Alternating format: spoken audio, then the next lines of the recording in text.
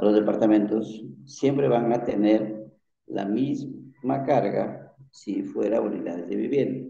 En área va a ser igual. O sea, si ustedes sacan 120 metros con un área de 120 metros cuadrados, que es una unidad de vivienda, sacan, ¿no? Los primeros 90 y los otros, y los otros 40 o 30 metros, 1000, entonces igualito esa suma de 3.500 debe darles, sea por unidades de vivienda o sea por departamentos. ¿ya? Entonces los 120 metros cuadrados o trabajen por unidades de vivienda o trabajen por departamentos, siempre tiene que ser el mismo valor. Esa área va, como carga instalada y máxima demanda debe ser igual, no, va, no debe ser diferente, ¿ya? Por si acaso, si yo les pongo, por ejemplo, tengo un departamento de 180 metros cuadrados y alguien no vino hoy día, va, la primera parte, de los primeros 45, 1500, los otros 45, 1000, los otros 45, 40, 1000 y los otros 45. No, o sea, lo que ustedes han visto es una sola vez se pone hasta 45 metros cuadrados. Los otros van a ir sumándose de 90 en 90. ¿Ya? Eso es lo que quiero que entiendan. Otra, vamos nuevamente a sacar. También existe dentro del código, en la 050, cuando se habla de departamentos, nosotros tenemos que entregar a la concesionaria, tenemos que entregar a la, a la concesionaria un valor. Por ejemplo, nosotros sabemos calcular cómo es la unidad de vivienda, cómo es el departamento, pero ¿qué pasa si los departamentos ya son 10, 20, 30, 40, 50 departamentos? Entonces, la concesionaria nos obliga a entregar el monto de consumo, o sea, la máxima demanda de todos los departamentos en conjunto. Eh, profesor, no está compartiendo. A ver.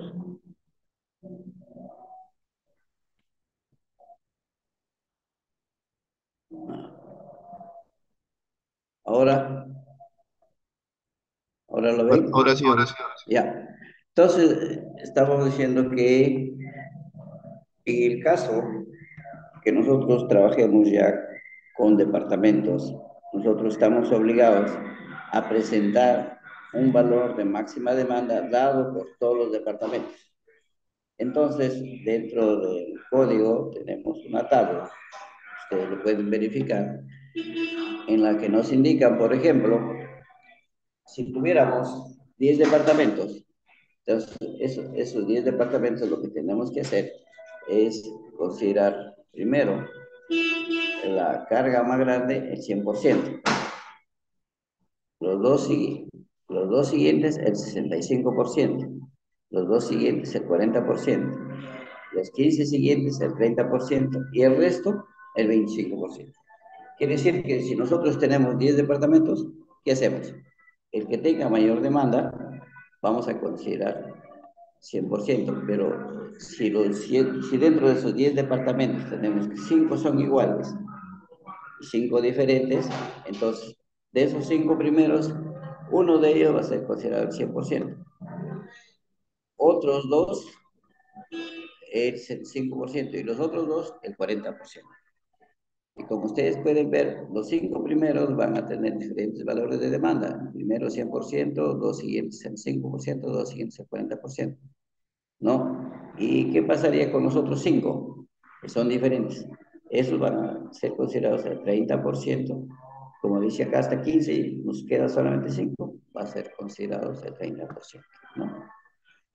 Además, ¿qué, ¿qué podemos sacar de esta tabla? Ustedes lo verifican luego nos dice que lo que ustedes conocen, la calefacción ambiental hasta 10 kilowatts es el 100%, el resto es el 5%. Y el aire acondicionado el 75%. Pero nosotros hemos dicho que, por ejemplo, lo que es electrobombas, como ya no corresponde una electrobomba a cada departamento, sino va a haber una electrobomba para todo el edificio, sea de agua, sea de desagüe.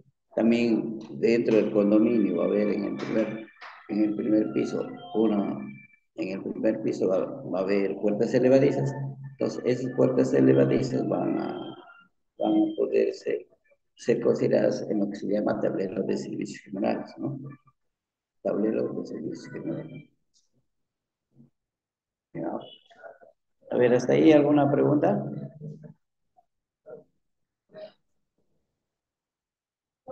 Bueno, acá tenemos un ejemplo.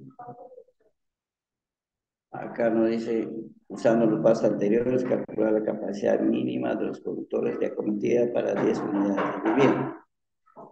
Si la carga de la unidad de vivienda es de 13.500 vatios, entonces, en este caso, esa unidad de vivienda, ¿no? que tiene una máxima demanda de 13.500 vatios, parte de esa carga está considerada como aire acondicionado, entonces la carga de la unidad de vivienda menos el aire acondicionado es 9500. Entonces, en este caso, nosotros tenemos que siempre aplicar que las unidades de vivienda que tienen aire acondicionado o tienen calefacción, esa parte no se considera dentro de esta tabla que nos exige el código, no se considera. Simplemente esa carga que tiene como demanda para el caso de aire acondicionado al 100% sale fuera. Entonces aquí saldría 9.500, que es la máxima demanda, y eso es lo que se considera. Entonces, esos 9.500, como ustedes pueden ver, la primera, que es una de ellas, porque son iguales, la primera es considerada el 100%, 9.500. Las dos siguientes, 2 por 9.500 nos sale 19.000, eso considera el 65%. Luego, dos siguientes, 2 por 9.500, 19.000, el 40%. Y las cinco restantes, cinco restantes, 5 por 9.500, el 30%. Eso es el total. El total de demanda de los edificios va a ser 43.700 vatios. El aire acondicionado que hemos tenido 10 unidades de vivienda sería 10 por 4.000, son 40.000.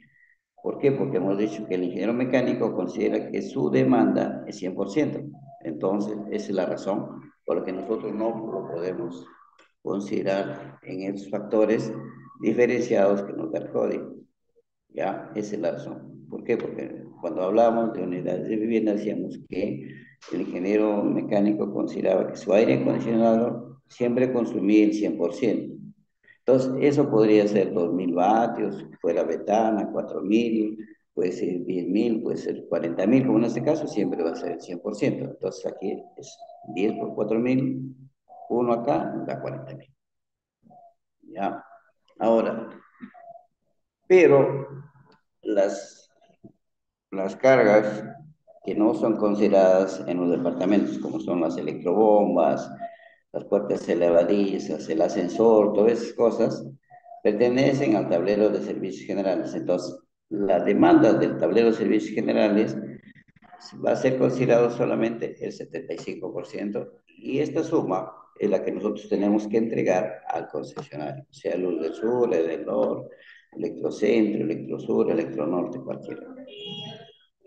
¿Ya? Entonces nosotros este valor de máxima demanda, ¿cómo lo calculamos? Repito, considerando estos factores diferenciados que nos obliga el código, considerando en forma independiente las cargas que son calefacción o aire acondicionado, ¿ya? y también considerando solamente el 75% de lo que sería tablero de servicios generales. ¿Ya? Solamente eso. ¿Ya? Entonces tenemos aquí ese total. Bueno. A ver, dejar de compartir y vamos a esperar sus preguntas. A ver, Eric, ¿tiene alguna consulta? Eric Echevarría. Por el momento no, profesor. ¿Alguna pregunta, Eric? Eh, profe, no, una pregunta. Sí, dime, dime. Eh, por cada, igualito como unidad de vivienda es cada 100 metros cuadrados un, un...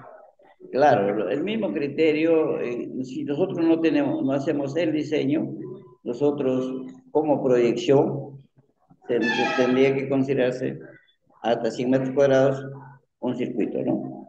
Y dentro de ese circuito está alumbrado y toma corrientes, ¿no? Un circuito de alumbrado un circuito de corriente hasta 100 metros cuadrados. En este caso, por ejemplo, si nuestro departamento tenía 50 metros cuadrados, es un circuito de alumbrado, si tiene 90, igual. Si tiene 80, igual, ¿no? Si nosotros hacemos ese diseño ya puede variar, ¿no? Porque ya de acuerdo a las condiciones del dueño puede hacerse diferentes, ¿no? Pero en forma general, si nos dan el área, sí va a ser como tanteo, nuestro diagrama unificar un círculo de alumbrado y toma corriente si esa área es menor de 100 metros cuadrados. Ya, eso. Bueno, ahora, ustedes el día jueves tienen que entregarme su plano, ¿no es cierto?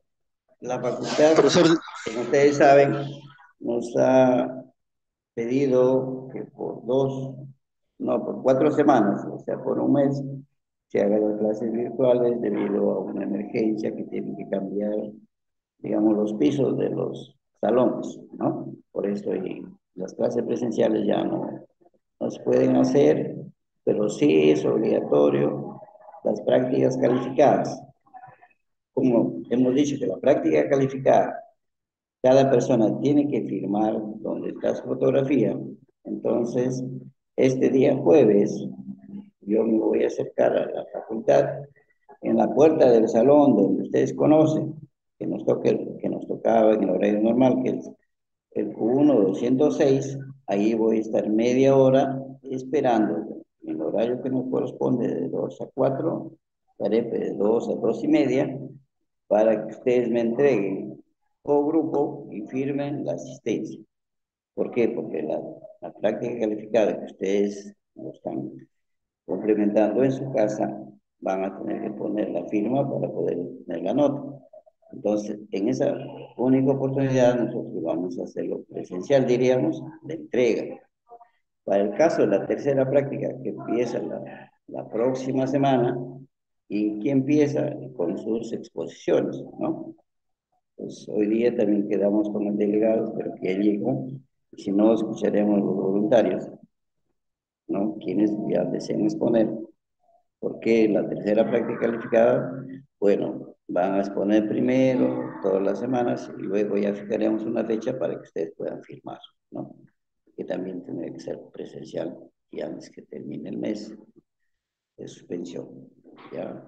Entonces, quedan ustedes avisados el día jueves, es la entrega de la segunda práctica calificada. Sobre sus notas del examen, ¿por qué no aparecen todavía en ORCE? Ya ha sido calificado, pero todavía no aparecen. ¿Por qué? Porque la orden era que eso sea anónimo. Entonces están haciendo un trámite especial en ORCE para que puedan permitir el ingreso ya de las notas, ¿no? Entonces espero que el jueves o el viernes ya debe estar solucionado y todos en, en todos los cursos ya van a tener sus notas del examen parcial. ¿Ya? Esa es la razón. Entonces, vamos a compartir nuevamente.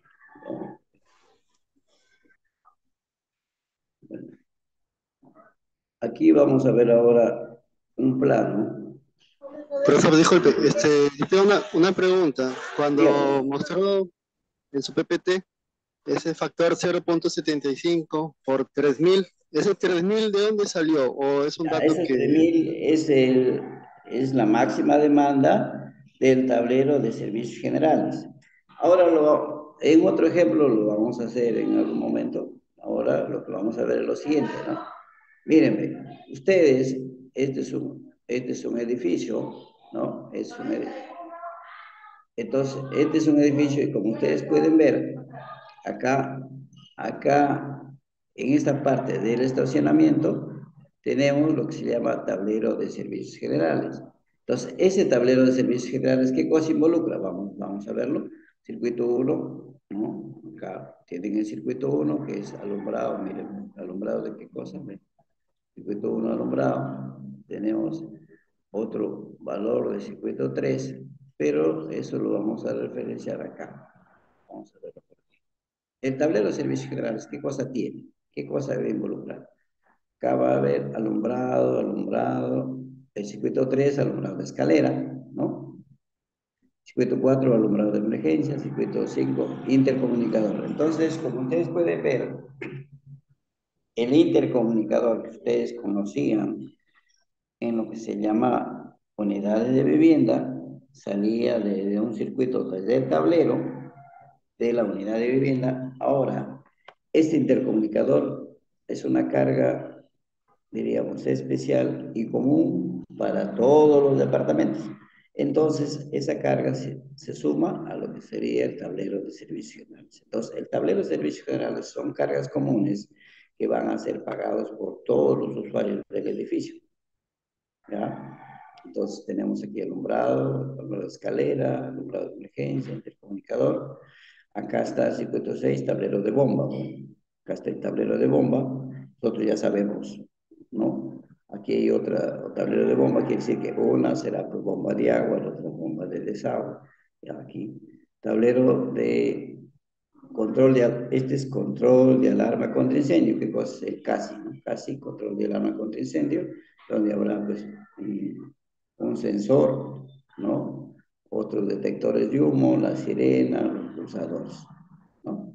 Entonces, eso es un sistema de alarma del edificio. Y bueno, y un, circuito de toma corrientes. Entonces, ¿eso dónde se refleja? En el tablero de servicios generales, acá. Entonces, este tablero de servicios generales involucra qué cosa? Toda la zona de, que es común. Zona común, ¿qué cosa significa? Que hay área de estacionamientos. Entonces, si en ese estacionamiento hay diferentes vehículos, eso corresponde a diferentes propietarios dentro del edificio. Por lo tanto, esa, ese alumbrado tiene que ser pagado con un medidor independiente por todos los usuarios, ¿no? Entonces nosotros, a la pregunta de su compañero que nos decía, ¿esos 3.000 de dónde sale? Eso sale de esta, de esta carga ese, valor que hemos visto ahí salía de esta carga. Entonces, nosotros también tenemos que ver si nuestro edificio es mayor de seis niveles, mayor de seis pisos, entonces va tener ascensor. ¿Ya? el tablero de servicios generales va, a tener, va a tener ascensor, va a tener electrobombas, si es si viene sótano, va a tener bombas de agua, de desagües, de sótanos, puertas elevadizas, ¿no es cierto? También va a haber alumbrado de escaleras, como este caso de acá, ¿no? Alumbrado de escaleras. Ese. Miren, ¿no? Pero dentro de este primer piso, por ejemplo, también hay, ¿qué cosa? También hay un, un tablero de un departamento que hace independiente, tiene circuito 1, circuito 2. Entonces, y a partir del segundo piso ya tienes miren, tablero de departamento 202, al fondo va a haber 201. En el primer piso tenemos el tablero de servicios generales, las áreas comunes. Además, tenemos que ver que todos los alimentadores a los departamentos, ¿por dónde van a subir? van a subir por esta área que se llama servicios generales, por esta área común que son las escaleras, por ahí va a subir y va a bajar los alimentadores. No podemos decir, por ejemplo, como en el primer piso, como, perdón, como en las unidades de vivienda decíamos, si mi tablero general estaba acá, entonces para, para el circuito que está en segundo nivel, ¿qué, ¿qué, decíamos? Por acá hay un tubo que sale directamente hacia el otro piso. Eso es lo que hablábamos, ¿cierto?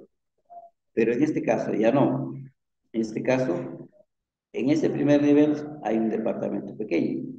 Y en el segundo nivel, como ustedes pueden ver, hay dos departamentos, ¿no? 202 y 201. Acá.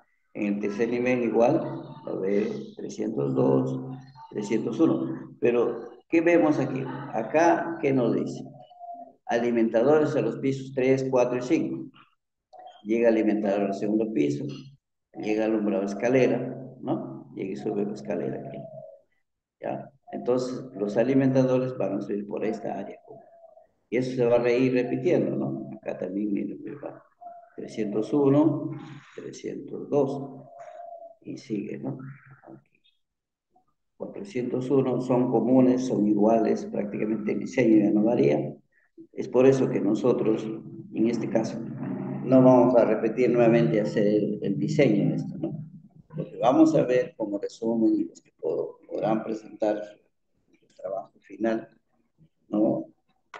Un proyecto en el que se va estudiar y se va a calcular los alimentadores principales de los departamentos, no ya tanto el diseño, porque ustedes ya lo tienen, son, son espacios más grandes, todas esas cosas, ¿no? Pero, como les repito, esto se repite, ¿ya? Y se repite hasta arriba.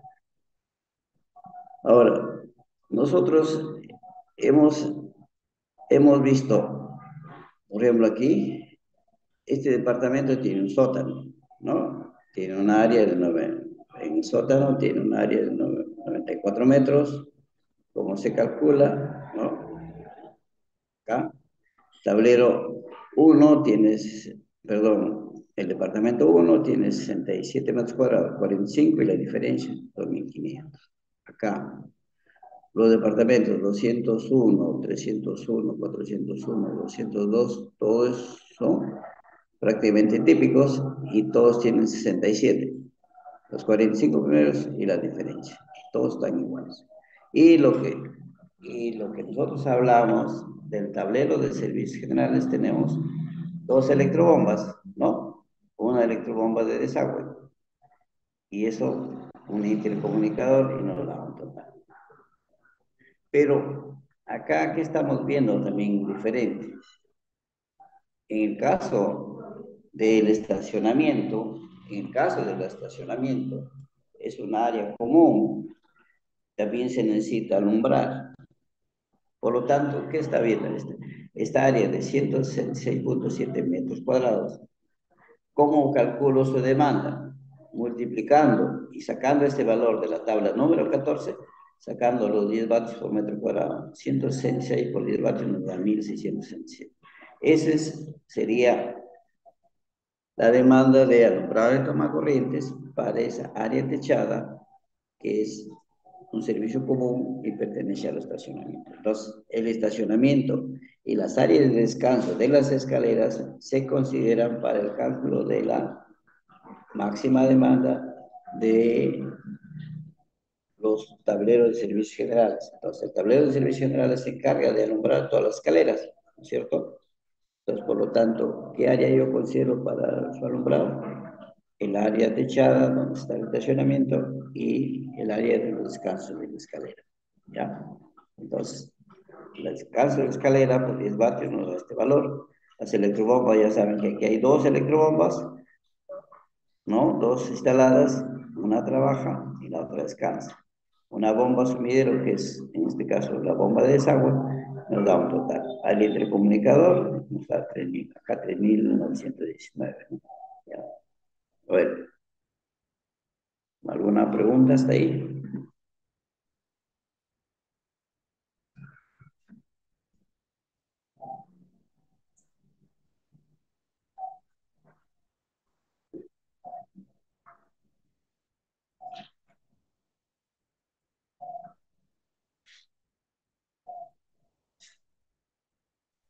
Profe.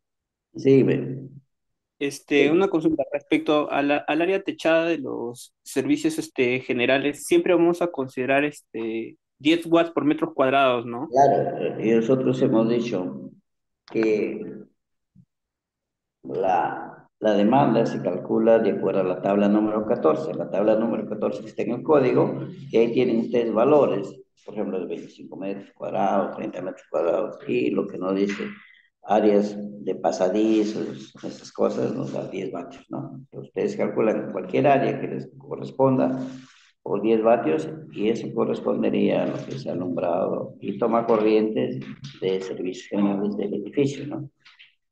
Pero si usted, por ejemplo, como hemos dicho, tiene un área que no puede enseñar, simplemente lo va a tantear y corresponde a una tienda, el valor también está ahí. ¿Cuál es? 30 vatios por metro cuadrado. Entonces, cuando nosotros no, no tenemos información, hacemos el diseño, consideramos ese valor de, de la tabla. Entonces, en este caso, para los edificios, se considera para lo que es pasadizos, estacionamiento y los descansos de la escalera, repito, 10 vatios por metro cuadrado. Eso es. A, ver, Joel, ¿alguna consulta? Joel Mamani. ¿No está? Bueno, vamos a ver quiénes son los que han venido para tomar lista, pues, ¿no? Porque están pues foto y no sé si estarán. Vamos a tomarle lista.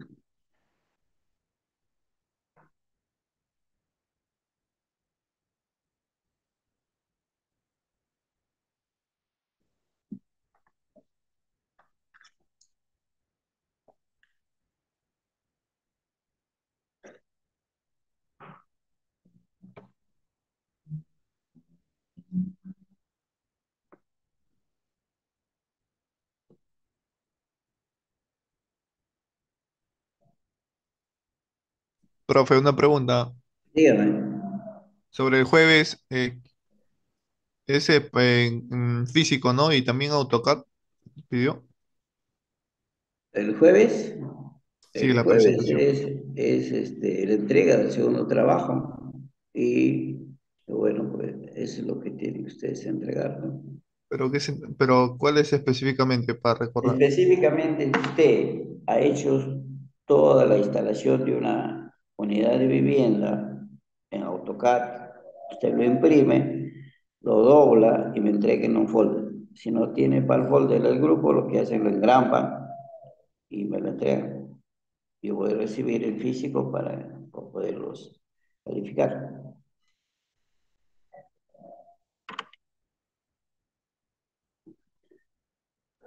Profesor, solo son dos planos, ¿no? El de alumbrado y el de toma corriente, ¿no?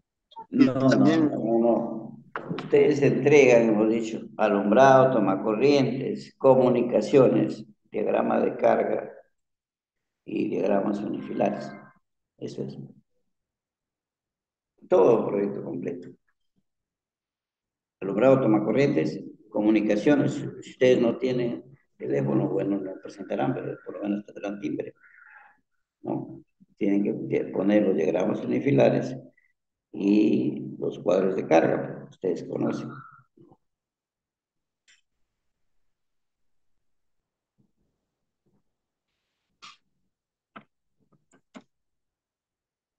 Porque todo eso hemos hecho en, en clase, pues eso es lo que ustedes tienen que presentar. Álvarez Horna, Astu Urupay, Presente, profesor. Cadillo, Casani, Conde Cornejo, Del Pino Álvarez, Presente, profesor. Del Pino Echevarría, presente, profesor. Espinosa Verdales, Presente. Espinosa Santos, Guerrero Rosales. Presente. Espinosa, ¿no? Guerrero, Hidalgo, Inchi, Guarica, Ledesma Casas, Letona Vargas, Lizarme Redondo, Llanos Cubas, Duluy, Mar Cuadros, Profe, Yuyuy presente, profe. Matías, Mena Chávez, Presente. Mena Mamani, Presente, ingeniero. Orellana Santa Cruz, Pantia Rivas, Presente, ingeniero. ya, Pariona Ch- Chuquilín, Presente, ingeniero. Paucar, Pomalía, Rivera, Rodríguez Alvarado, Presente, ingeniero. Rodríguez Bustamante, Ruiz Rubio, Tacila, Tello, Tello presente, ingeniero. Tello, ya. A ver, vamos a llamar rápidamente si alguien escuchó. Álvarez, Calillo, Casani, Conde, Guerrero, Inchi, Ledesma, Letona, Isarme, Luluy, Matías, Orellana, Paucar, Orellana presente, ingeniero. ya Orellana. Ah, profe, Yuyuy también presente. ¿Puede Yuyuy repetir? Ramón. Yuyuy Ramón presente. Acaba ya, de pasar. ya, ya.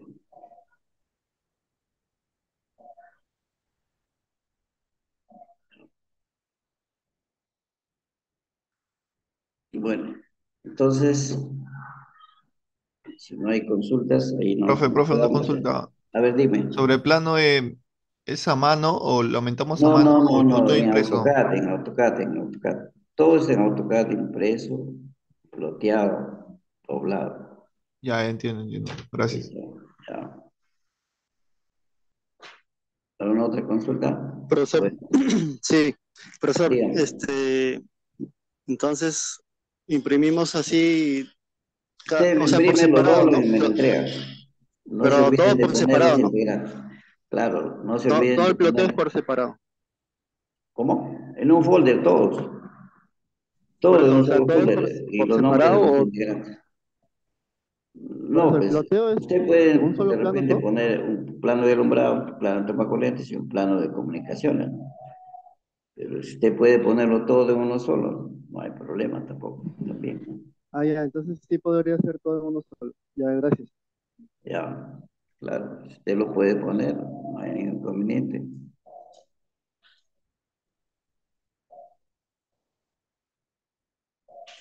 ¿Alguna otra pregunta? Bueno, parece que bastante les falta avanzar. Bueno, vayan a trabajar su, su plano, ¿no? Porque si no, ya, ya saben, entonces el día jueves a las 2 yo voy a estar en, en el aula 206 esperando media hora. No llegan, ya pues yo lo tomo que no, no van a presentar, ¿no? ¿Por qué? Porque Profesor, una pregunta. Dígame. Sí, disculpe. Eh, para lo de las cargas, ¿cómo vamos a hacer si no, o sea, nosotros no sabemos qué es lo que se va a poner? ¿En cuál carga? ¿Cómo podemos asumir el- para poder obtener las cargas, o sea, para hacer el diagrama unifilar? Bueno, Necesitamos ustedes- tenerlas. No, no, a ver, nosotros hemos dicho lo siguiente. Ustedes como grupo definen qué cosa van a hacer. Si ustedes no desean, no ponen ninguna carga, no hay problema. Solamente presentan alumbrado y toma corrientes.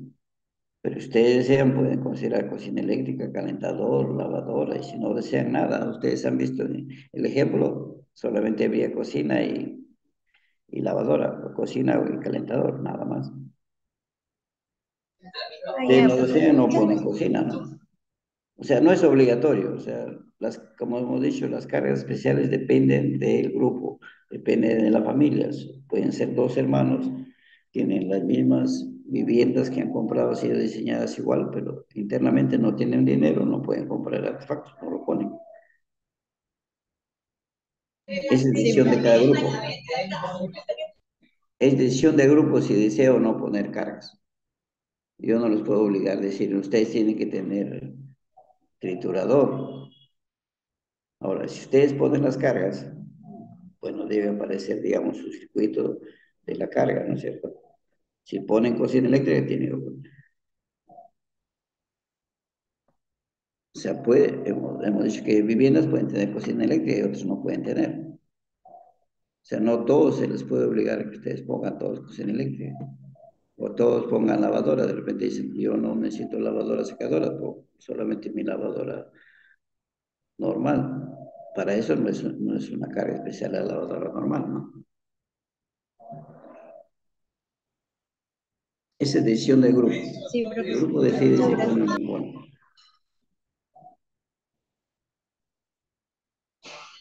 ¿Alguna otra pregunta?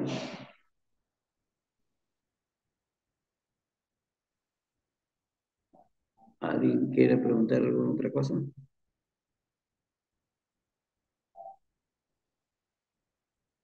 Ustedes como grupo, repito, conversan, deciden si colocan o no colocan. Pero tienen- de repente podría desarrollar la solución del, del examen ¿Cómo? parcial. De repente podría parcial. desarrollar la...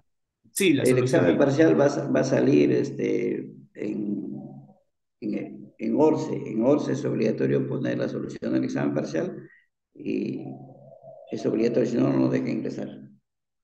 Eso es. No, eh, no le decía Ah, sobre la nota, sino sobre la so- solución Sí, del, pues. del examen. Sí, pues sobre el examen, por eso digo, antes de poner la nota, nosotros tenemos que cargar a ORCE la solución.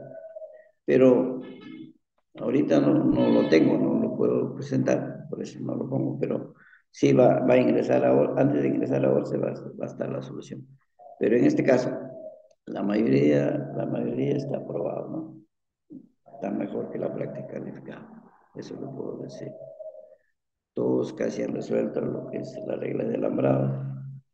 Ah, Y algunos, algunos, bueno, no, pero igual todos, todos van a tener la solución ahí. En el momento que cargo la nota, lo van a ver ahí. Y con eso ya yo entregaré a estadística y ustedes ya harán sus reclamos y lo creen conveniente. Sí, en el examen, ORCE no nos permite ingresar la nota si no presentamos la solución. En las prácticas no, pero en el examen sí es obligatorio. Por eso que todos tienen la oportunidad de ver su, comparar sus resultados. De acuerdo, ingeniero. Ya, listo. ¿Alguna otra consulta? Bueno. Entonces, a ver, ¿qué, qué grupo podría la próxima semana hacer su exposición de forma voluntaria? ¿Está el delegado?